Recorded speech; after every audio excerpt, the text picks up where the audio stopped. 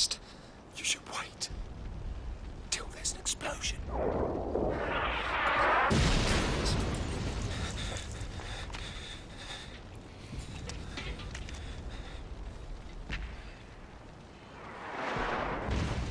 Did you notice you? A little.